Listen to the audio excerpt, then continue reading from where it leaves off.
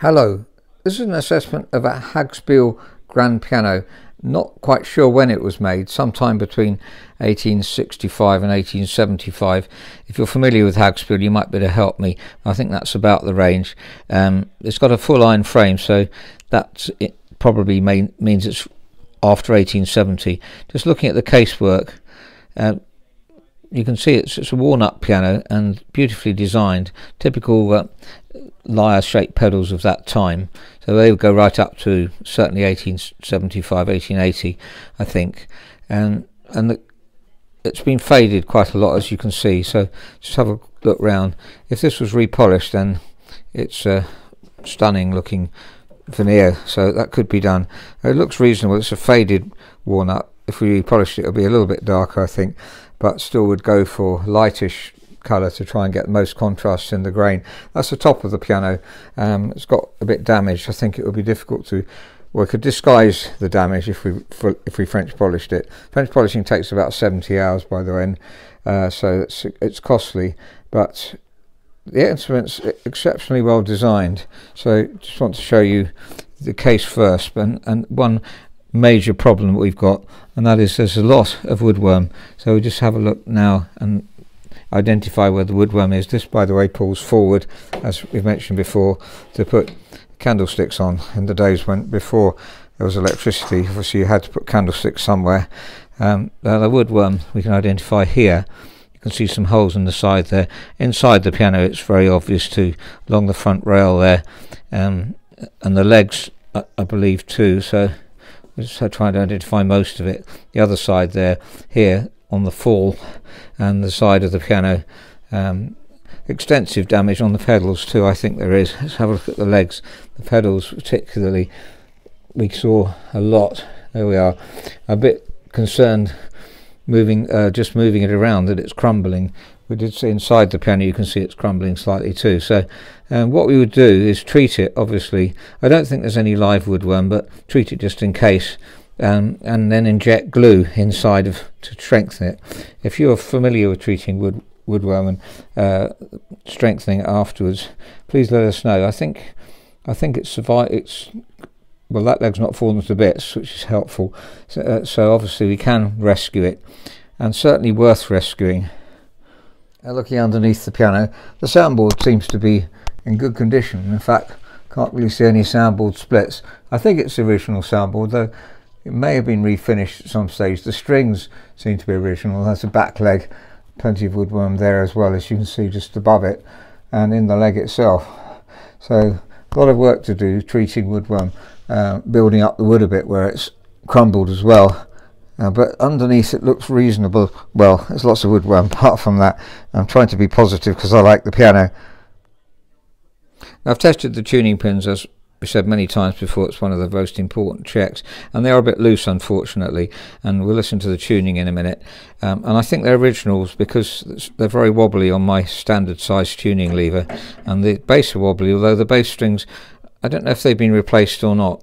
Um, I'm not an expert in very old pianos. We have restored um, similar age pianos before, but we're doing mostly younger pianos, Blüthners we do a lot of from about 1875 onwards. Uh, we'll restore any really good piano. You can see there's a bit of moth as well, unfortunately, as well as woodworm. So uh, that uh, if we restrung the piano, obviously we'd replace all that felt. And so there's a lot of work to do. And uh, there's a scutcheon here, a scutcheon here, which uh, fell out. I'll put that in in case it gets lost. I think we'll put that back in place. Um, looking at the strings, there are a couple broken here. Uh, it's well, very much below pitch. Another telltale sign that's got broken loose, uh, sorry, loose tuning pins is because somebody's put some felt in here, wedging the strings that uh, won't stay in tune because the pins are too loose. And so uh, definitely needs restringing. Very rusty strings too. We would always pitch raise if the uh, if the string pins, pins were tight and the strings weren't so rusty, uh, if we could, to try and preserve the original strings. If you listen to the bass here, it's very rich. If we look at the tuning, this is A supposed to be A440 and you can see it's about 419 and the octave below is a little bit sharper than that one, not much. And the bass, the bass end is a lot sharper.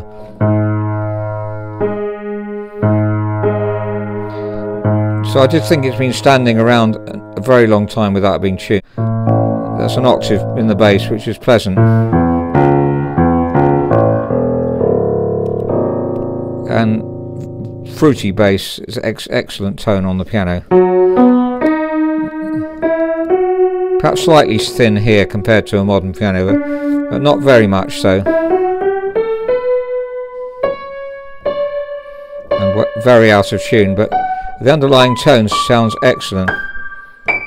So that's encouraging. It is a full iron frame. Um, just on an assessment of the Blüthner, slightly younger than this, I think, although the frame is extremely similar looking. I think the Blüthner is about 1875. So, judging on the frame and similar looking, um, by the way, this is made in Dresden, and Kaps were made in Dresden too, and made quite a few grand pianos that are very attractive too. Um, Hagspiel, as I say, there's a few very similarly designed Hagspiels in the UK. Um, if you're familiar with Hagspiel, please do teach us what we can, uh, what you can about it, because we want to learn as much as possible, especially if we end up being commissioned to restore it. The bridge seems in pretty good condition, and the strings, I think they're original strings. I can't imagine a string maker making this style of strings. So let's say they are original, so that's 1870. Let's put it at that for the moment, just for giving it a specific date. There's a hammer up up there, as you can see. You're going to have to push, make sure they're all down before we take the action out. Looking at the action, it's very similar construction to very old Bechsteins. It's wood here, um, Blüthner's too. Very nice and light to pull in and out. Um, and it has a rocker system which you get on old Bechsteins. Uh, Blüthner's have a patent action, so that's a bit different. Uh, let's have a look at the, the shanks. And we notice that the shank has got this hole here for the, the check or catcher to catch them like this and it doesn't seem to work extremely well at the moment. I think I've seen a French make similar to this. I don't know if it was Pleyel. Uh, we've worked on one and I just can't remember which one it was but uh, similar to this anyway and you can see it checks and in this case if, as I release it it is going upwards so the spring in fact the, the, the levers look quite similar to modern levers really not that much different so um, that hasn't changed an awful lot since the 80, since 1870 or so um, but the design as I say this design here is different. And I, I think it tends to wear a bit more than what you normally have as a check behind. And if you look at the back of this hammer it's flat. There's no check obviously. It doesn't need one. And they're recovered hammers. If you look carefully you can see uh, that they're not replaced but recovered as you'd expect with this style of action. Sorry I can't seem to focus enough but you can see that where, a knife's been on it and it's not quite as exact fit and on the front it's more difficult to detect because it's got that extra piece of, of um, felt or base felt here to for the check. You can see here that it's not been very worn at all since since those felts were put on, so that's very encouraging. It does need a bit of voicing, but uh, the hammers are, are good right through to the top. So whoever did the work has done a good job. I did find a serial number on the piano, 2905, which was also underneath the cheeks. So I don't really know how that relates to anything. Couldn't find a list of serial numbers for Hagspiel, so if you are familiar, that would be really wonderful to hear about it. Uh, looking inside at the dampers, uh, you can see that there's been some corrosion on the leads here, and it's caused a split on this one here. Um, generally, we do find they're beginning to split when they're corroded, so that could do with some work, I think. Can change the, uh, the, the. We can have to make a decision on that. So the good news is it's it's got real screws at the back. What I mean is very often it's vellum hinges on Blüthner's vellum hinges, um, which is usually fine, but they can break, and you have to be very careful when you put the action back in because you can break the vellum hinge at the end at the back. Uh, and this is an interesting system too, very simple. It obviously works well. The dampers are needing regulating, but they're they're pretty well regulated considering. The front well pulls downwards and recently I did assessment on a, a, a Blüthner similar age and mentioned that these were missing. So just wanted to show you uh, you can find that other video on our website and on YouTube channel as well. Uh, but this this cleat it should be on the Blüthners as well. And obviously similar style to the Blüthner So this front rail pushes downwards instead of pulling upwards, same as the Blüthner. So I've mentioned most of the things on this assessment sheet. Um, we can see, as I say, confusion about the date, 1870, 1875. It's got a full iron frame, so I think that suggests to me it should be post 1870, but please comment if you know more than I do. It was founded in 1862 apparently, I did a bit of research, and up to a thousand a year, that's of serial numbers probably moving yearly by a thousand, so there may not be anything near that number.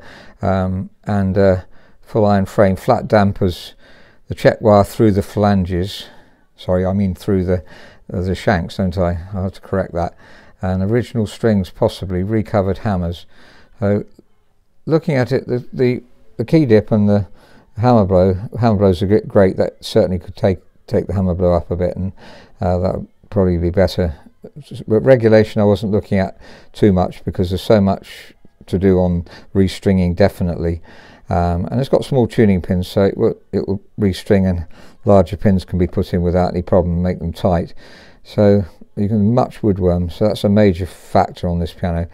Um, so it's definitely worth working on. Value of the piano afterwards, it's very attractive, so it's very hard to tell. Um, can we get this touch right? Because if you can see there, 54 in the bass is about right, but 46, 46, 43, 42, 37 where it should be 50. So for practicing, that wouldn't be a good idea. If you want a light touch, then obviously you could leave it like that. But for practicing, you want 50 really. And this could be, it's a, it's a good design of action, so it could be a practice piano if you would like to keep the piano and play seriously on it, if it was restrung. But it's a lot of work to do. So I hope that's helpful. I'm just going to play the piano to give some idea of the sound of it, although it's well out of tune. Sorry, I mean way, way out of tune, I should say. Um, so sorry about that. So that's a Hagspiel grand piano, 180 centimetres long, made in about 1870, I think, and don't think it's been tuned for a very, very long time. But has a richness right throughout the whole of the piano, a warmth of sound. If you're familiar with this age of Hagspiel and have worked on one before, it'd be wonderful to hear from you. It shows every signs of being able to be restored well, but it does need restringing, and there's a lot of problem with woodworm, which obviously is uh, really important to deal with. But I think we can make it into a, a beautiful instrument. Whether we can get the touch so that it can be used as a practice piano is partly dependent on how much space there is and for weights at the back of the keys or whether we need to change the hammers to get the, the weight um, to, to what it should be because it's very, very light at the moment. This age of piano, it was lighter uh, in those days, and if you happen to know what sort of weight you'd expect on a piano of 1875-ish, then uh, please do make a comment. Well, it's so out of tune that you may not like to listen to this. So, but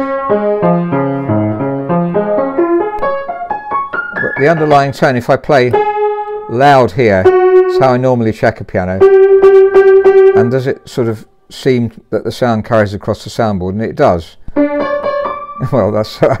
I'm sorry. Uh, I won't play anymore. I hope that's been helpful. Perhaps we should just play a bass.